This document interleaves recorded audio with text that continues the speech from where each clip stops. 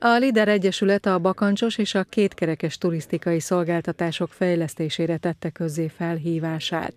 Mintegy 60 millió forintos keretösszegből 10 programot támogattak. Az Alagerszeg Zalolövő közti kerékpárútról való bringakörös lecsatlakozások volt a fő cél, amikor a Lider Egyesület ezeket a pályázatokat meghirdette.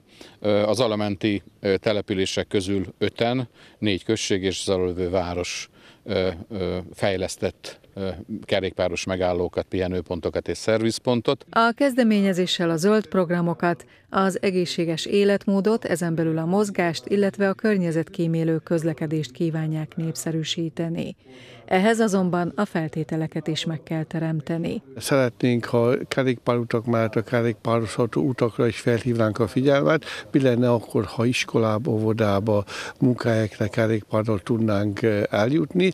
Ehhez hozzá kell szoktatni a lakosságot, ehhez viszont kell infrastruktúra.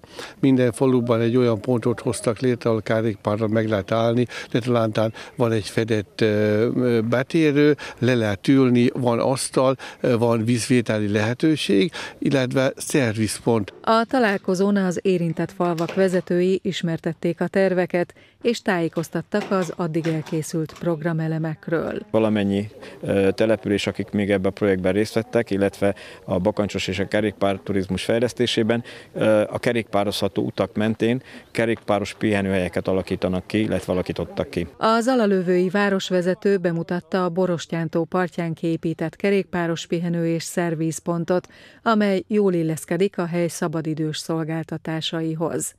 A létesítmény német faluban már elkészült, néhány hónapon belül a többi településen, Káváson, Kustánszegen és Salonváron is korszerű megállók várják a biciklistákat.